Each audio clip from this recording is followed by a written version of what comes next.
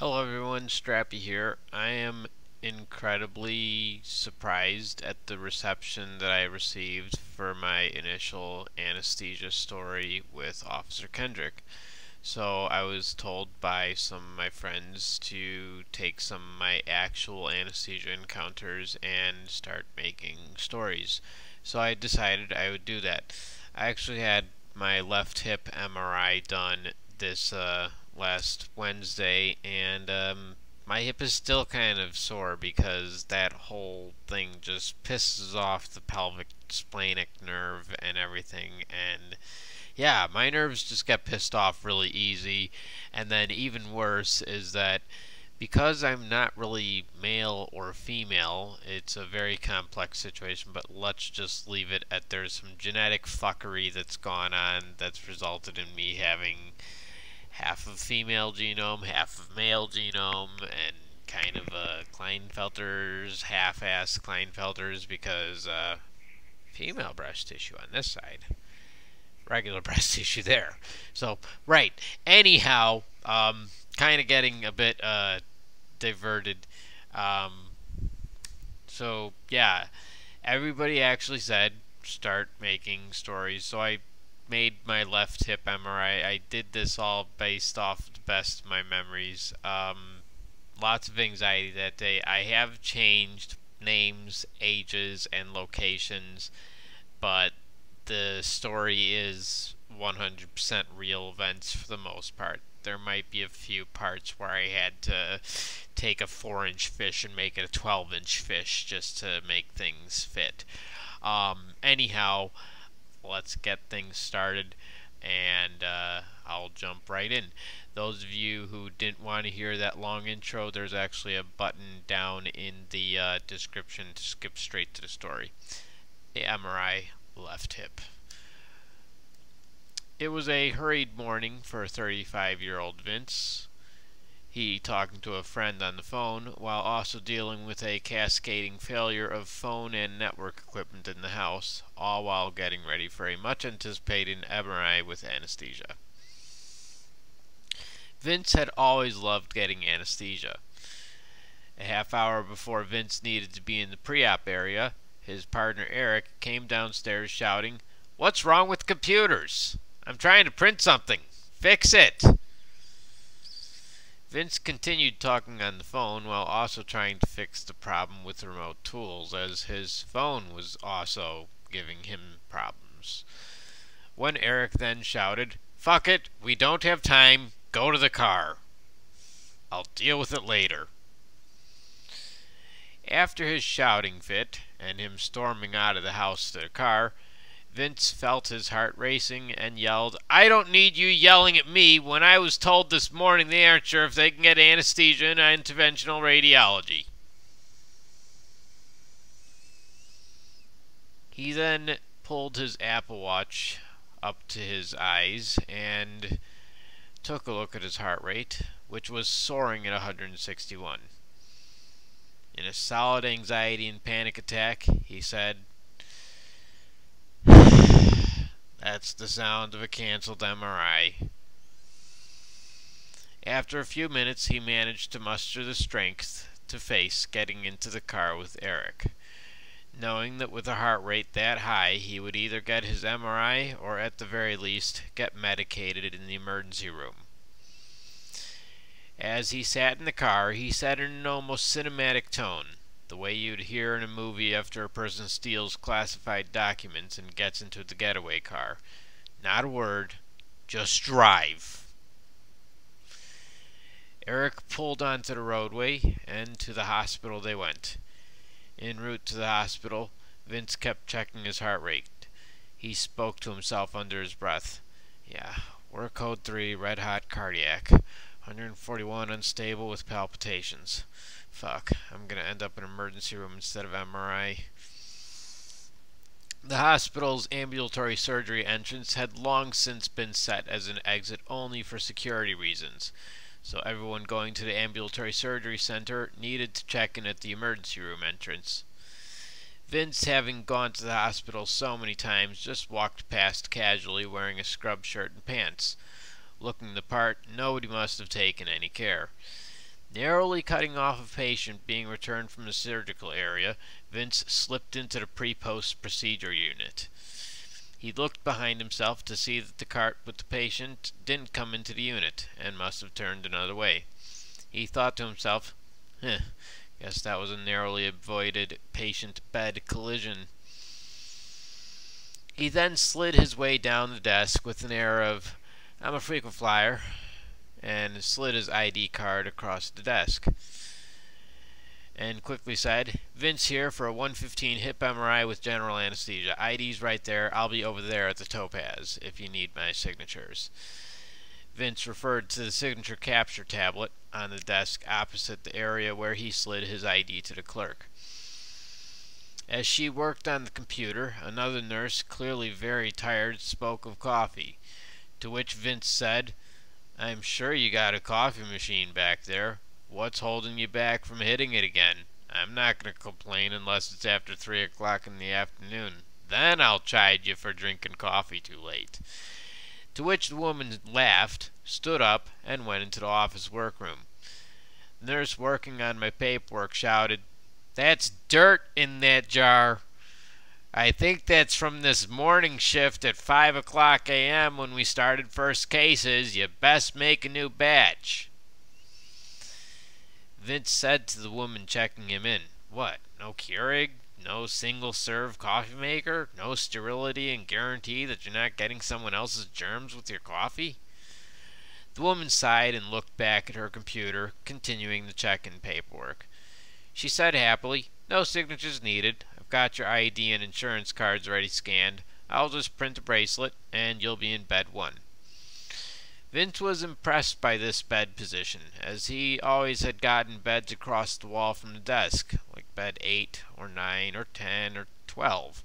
But bed 1 and 2 sat right next to the OR and imaging hallway.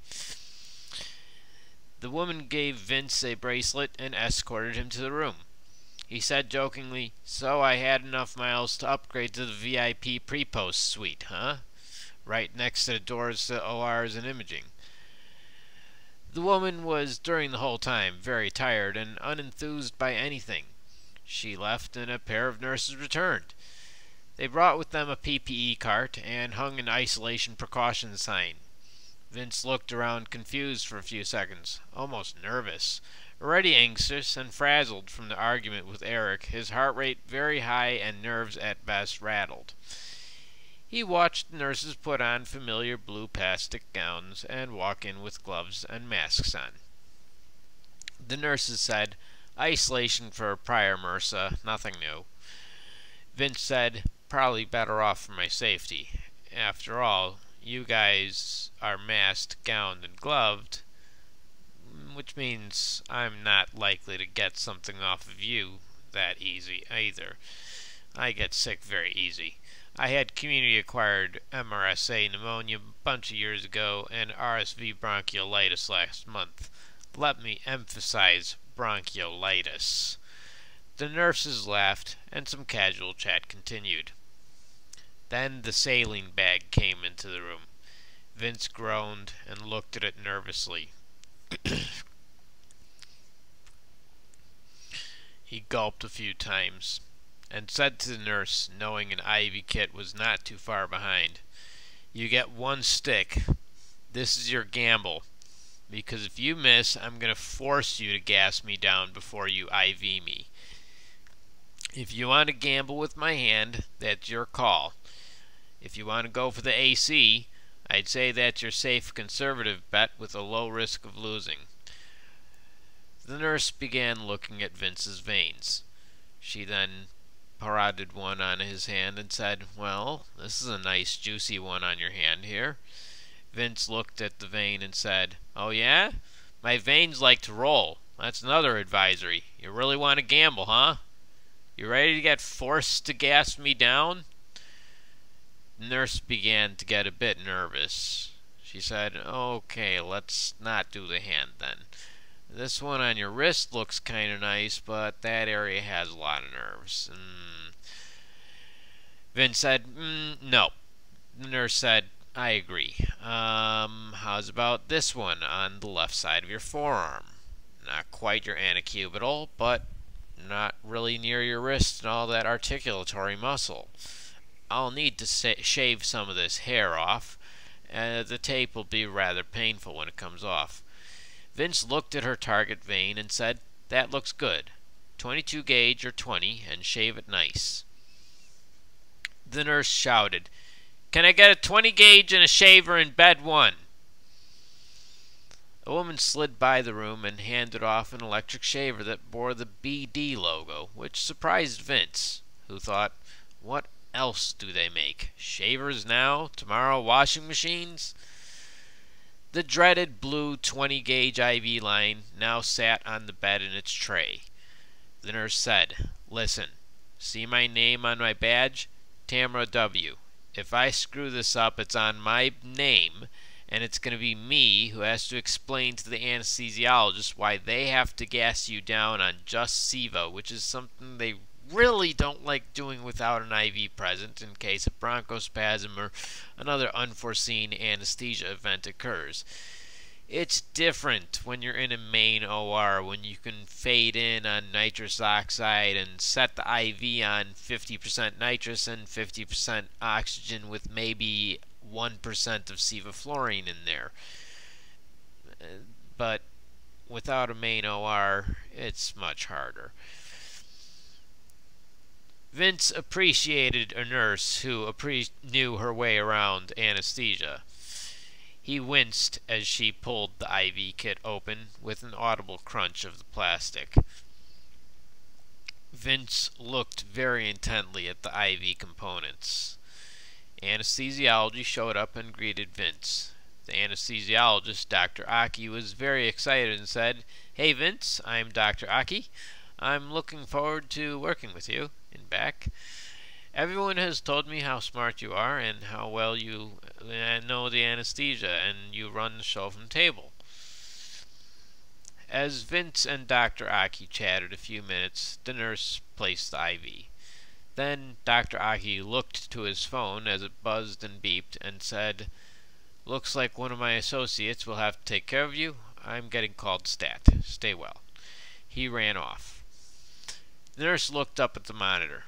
She was not impressed with the 140 heart rate and said to Vince, I can offer you that 5 milligrams of midazolam that we offered you earlier. Vince had put off the midazolam and told the nurses when he was doing intake that he didn't want any pre-medication and he wanted to feel the gas and remember everything. The nurses were extremely understanding and well knew that this was Vince's happy place. But there was no getting the anesthesia started like this, though. 140 and unstable. No anesthesiology wants to hook that up to their machine unless it's a dire emergency. So Vince said, Give me midazolam. Let's do it. The nurse walked off, and a few minutes later she returned with midazolam and pushed it into his IV, 5 milligrams. Vince barely felt any effect but the effect it and his friend chatting to him over the next half hour had brought his heart rate down to 102. One of Vince's friends from the gay chat group said on their Safe for Work channel, Sorry I can't be there. I know how much you like me in my heavy rubber gloves rubbing your head after a play session. Vince replied, I wish I could have you as my anesthesiologist, but I do have good news. My heart rate is good enough that they can take me in back. This was, after all, what had caused Vince's procedure to be delayed by a whole hour, because his heart rate was way too high when intake was taking place. Another anesthesiologist came into the room. A smaller, short, slim, black woman with a beautiful smile said, I'm Dr. Bernadette. I'll be taking over for Dr. Aki.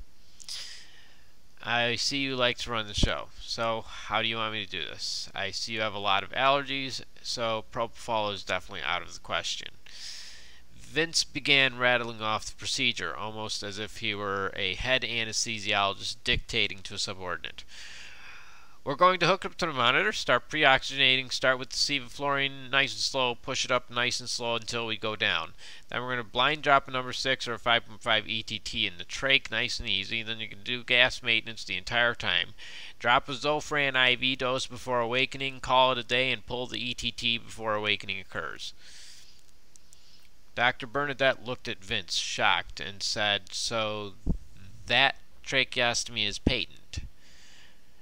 Vince said, Yeah, just used last month for a surgery at university. Blind dropped a six in there. Just gassed me down and dropped it in. Dr. Bernadette was clearly intrigued by this and said, And for the induction, mm, what do we do? Mask and the tracheostomy gets. Vince broke into her sentence and said, We just taggy out the trach site with 2x2 IV taggy and pull the teggy after induction happens. Dr. Bernadette said, perfect. Kind of what I was thinking. I was either thinking we would take the mask to your tracheostomy or we would actually cover your trach. Any last questions before I go get things ready in the room? Vince jokingly said, What's 222 trifluoromethylfluoromethyl ether? Dr. Bernadette said, I was warned I would get a pop quiz. That's the sevoflurane chemical name. Nice try flunking me. I'll see you in back, fun guy. Moments later, a pair of men showed up from transport, and Vince was whisked off to interventional radiology. Into a cramped room the cart rolled. Vince looked around this strange, very small room. It barely fit him and the staff a radiologist, a nurse, a CRNA, and the anesthetist. Packed into the tight room was the fluoroscope, the x-ray procedure cart, the vital signs monitor for anesthesia, and Vince looked around and said, Where's the anesthesia machine? Dr. Bernadette chuckled and said, I have to go run over to the MRI and grab it along with the 5.5 and number 6 ETTs. I'll be right back. Vince started looking around very eagerly as the nurses hooked him up to the monitor and put the blood pressure cuff on. This wasn't his normal excitement, though. Vince was actually nervous and rattled. The episode with Eric no help earlier, and it didn't help that earlier in pre-op, Vince was told that they might have problems getting anesthesia into the interventional radiology where they would be preparing Vince for his hip MRI by injecting contrast into the joint. Vince told them profusely in pre-op, You must have general gas anesthesia for me. That long hip aspiration needle is a harp nope nope nope needle. That is a hard nope. They reassured Vince he would get the anesthesia, but no amount of reassurance was enough until Vince looked around and saw the anesthesia machine roll in behind him with a metallic clatter. The whole air in the room changed from an electrical tenseness, almost panic, to an organized calm, maybe even excitement. Even more once Vince heard the anesthesiologist connect the machine to the power and gas lines, the leak tones, eliciting an excitement in Vince like nothing else in the world could. Just five sequential notes, played by this machine in a specific manner that made Vince's mild mind go into a state of total overdrive and excitement. What people would usually sexually call the climax is what happens when Vince simply gets around live anesthesia equipment about to be used on him. Yet his heart continued to race until onto the transport cart thumped a familiar object a green plastic mask with green ventilator tubings. While Vince wasn't used to the green tubings or green mask, usually seeing blue, the mask and its soft inflatable padding immediately was familiar. Before the anesthesiologist had even positioned it properly or put a tegaderm on his tracheostomy, he grabbed the mask greedily pulling it to his face tightly. The anesthesiologist quickly repositioned the tubing and turned on the oxygen hastily, grabbing a tegaderm and slapping it onto his tracheostomy. Vince's heart began to slow as he greedily took heavy breaths from the oxygen. The anesthesiology had set the machine up, and the airway was somewhat resistive feeling and heavy. Vince didn't remember the anesthesia machine airway always being this resistive. It must have been set up this way, probably with intent of forcing him to slow down and relax. The tegaderm slightly leaking. He used his right hand intermittently to make sure he wasn't going to leak any gases once they turned on the sevoflurane.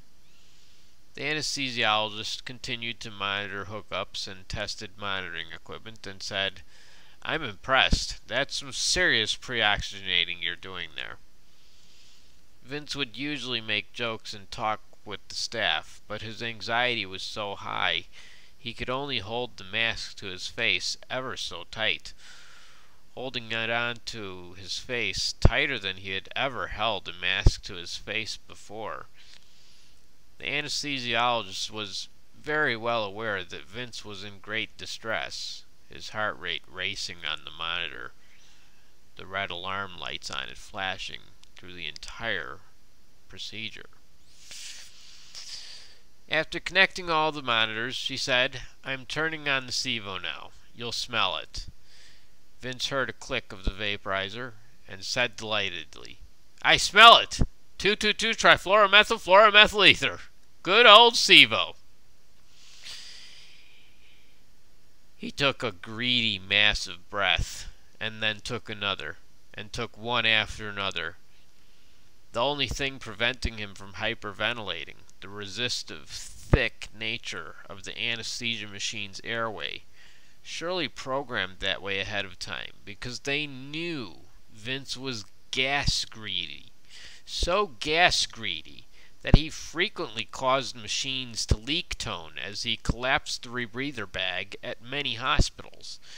Now hospitals know very well to have the largest rebreather bag available on the machine or to expect leak tones.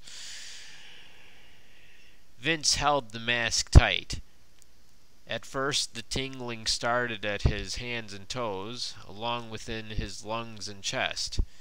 It was strongest as he inhaled and exhaled the delightful gas, growing stronger with each inhalation.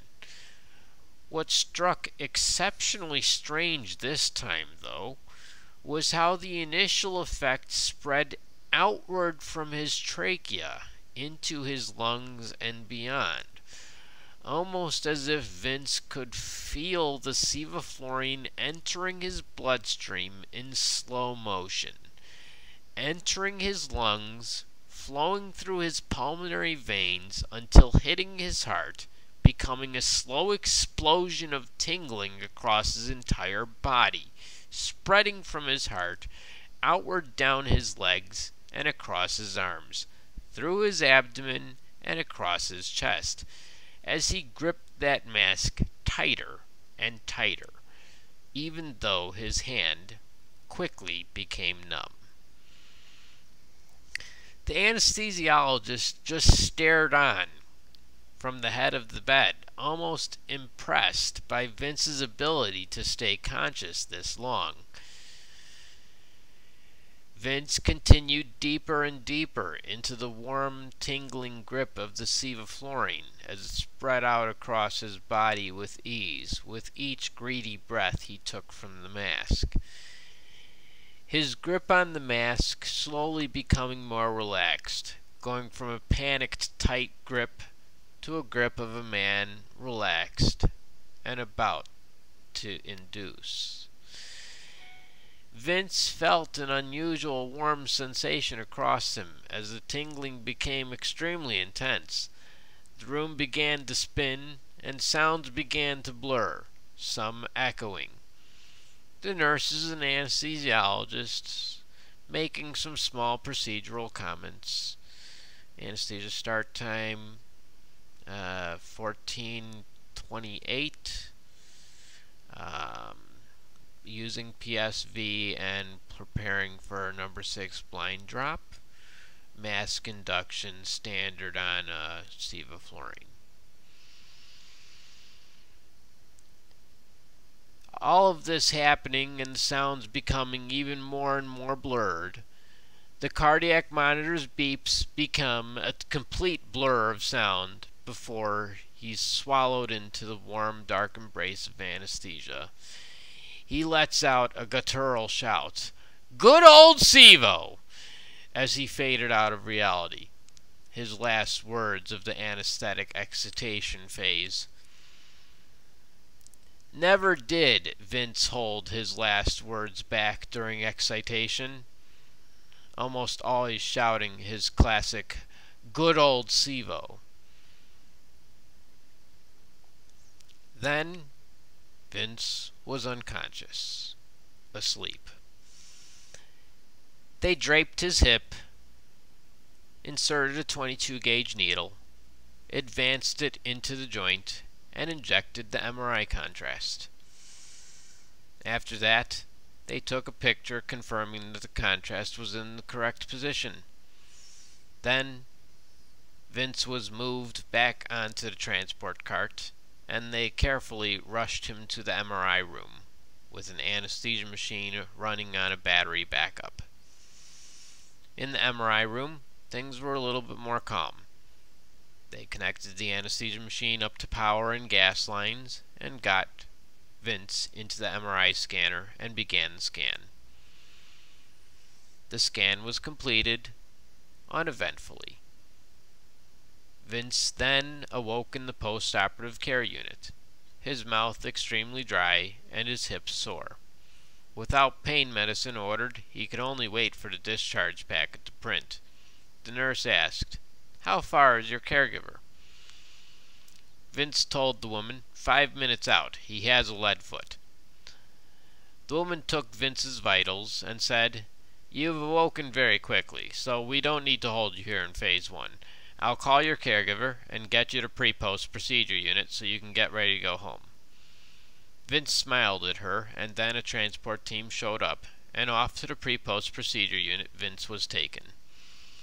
Vince met with the nurse he had at the start. She pulled the IV line out and wrapped it quickly with copious compression bandages. Vince grabbed on, putting additional pressure over the pressure wrap, saying, 30 seconds, not going to lose this nice vein. I'm holding on to this thing. I have to use it again next month. The nurse looked up and smiled and said, I'll call your caregiver. You get dressed at your leisure. The curtain was drawn closed. Vince kept the pressure on the vein for another minute or so, before quickly slipping his clothes on. A wheelchair then arrived. Vince told the nurse that his caregiver had arrived and he was parked outside. The nurse took Vince to the waiting car, and Vince and his caregiver, Eric, drove home. After a long day at the hospital, Vince was tired.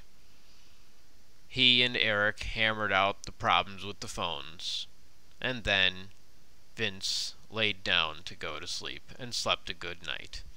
Though the whole next day even if it wasn't the top thing on his mind or being talked about, as if it wasn't something always on his mind, even if it was just in the back of his mind.